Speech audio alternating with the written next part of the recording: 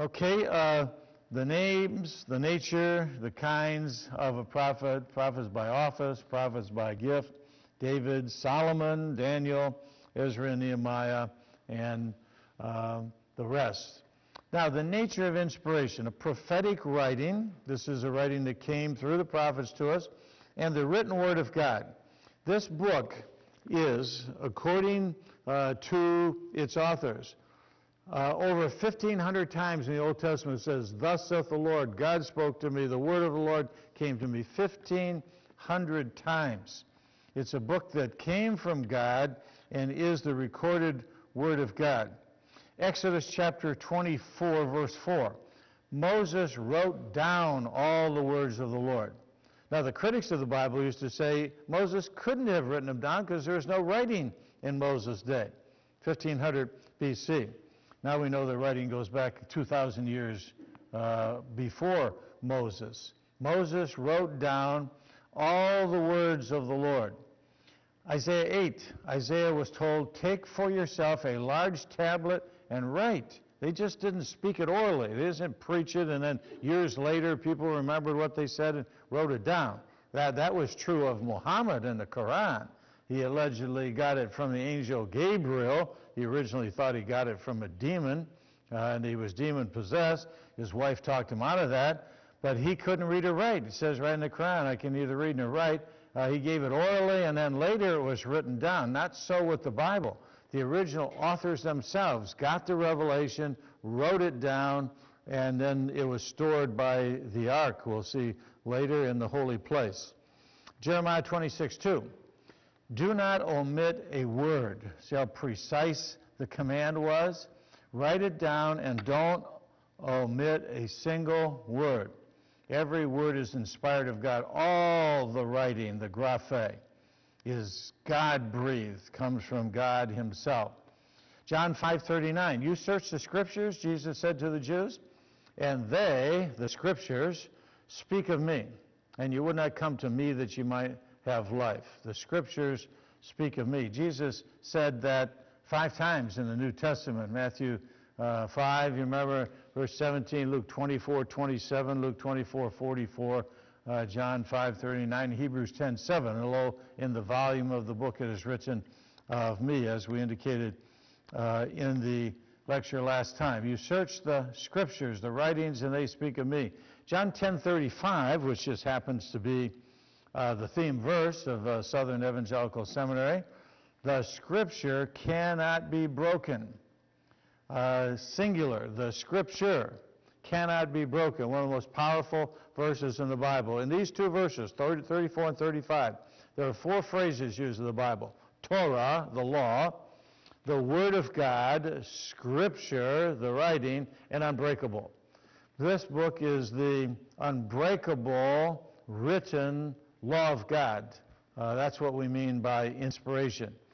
First uh, Corinthians 2:13. It always amuses me. Uh, critics will pick on certain books in the Bible and they say, "Oh, Paul, Paul was just giving his opinion there, you know. He was talking about uh, this and that, he was just giving his opinion because didn't he say, "Not I, but the Lord"? Well, here's a book that begins with words taught by the Holy Spirit. Even in that very chapter, he says, "I have the Spirit," and he signs off in chapter 14 saying, will write to you as the commandment of the Lord. Does that sound like that was just his uh, personal opinion? No, he's writing the very words taught by the Holy Spirit, plural. Every word comes from God. Every word is important. Matthew 3 4. Uh, and uh, Matthew 4, it should be uh, 4 4, 7, and 10. Uh, it says, It is written three times there. Now, that phrase, it is written, is used 92 times in the New Testament. And it's almost always in the perfect tense. Uh, it was written in the past and it stands written in the present. It came to us in the past, past action, with continuing results in the present, and it's still the Word of God today. Matthew 4, 4, 4, 7, and 4, 10. And um, 88 more times in the New Testament. It is written. Luke 24, 27. He expounded unto them in all the scriptures the things concerning himself. the two disciples on the road to Emmaus, and Jesus, after the resurrection, approaching them. That must have been a great uh, sermon.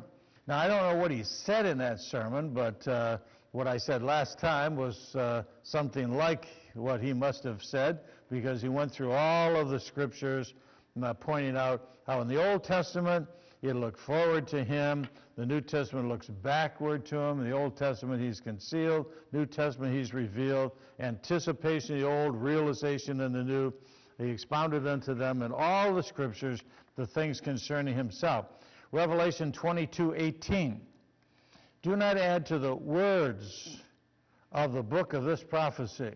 John was a prophet. He calls himself a prophet. Says he's giving a prophecy because every book of the Bible was written by someone who was a prophet by office or by gift, including the New Testament apostles and prophets. Ephesians 2:20, the church is built on the foundation of the apostles and prophets, Christ being the chief cornerstone. So when we say the Bible is inspired, we mean it's a prophetic writing, and a prophet is someone who couldn't add to or take away and had to deliver it perfectly. And we mean it's the written word of God. That's exactly what God wanted to say. And we mean, uh, finally, what the Bible says God says. Probably the simplest, easiest way to describe what we mean by the inspiration of the Bible. Whatever the Bible says, God says.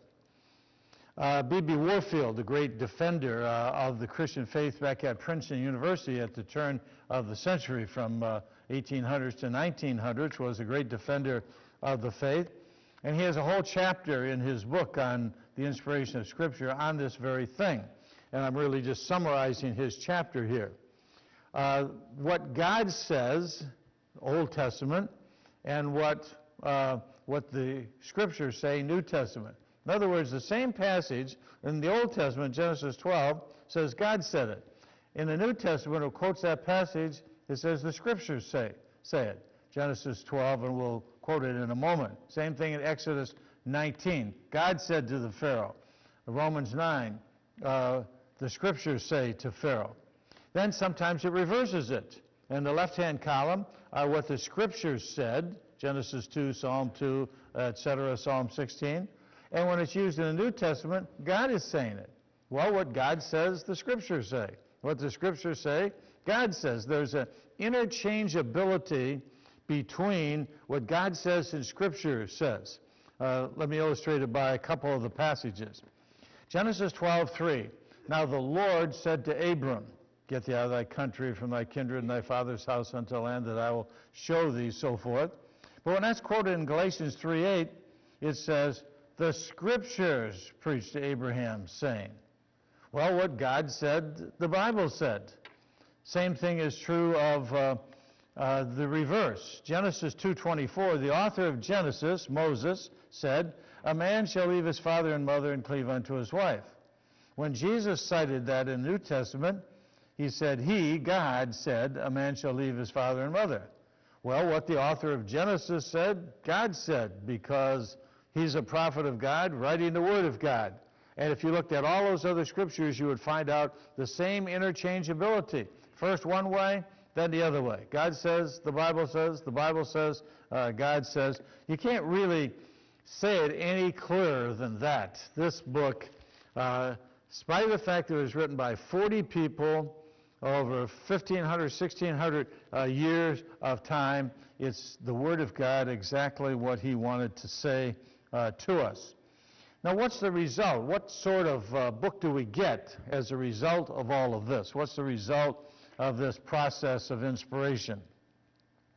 The result of inspiration is that we get a book that's divinely authoritative, imperishable, infallible, inerrant, historically reliable, scientifically accurate, and has ultimate supremacy.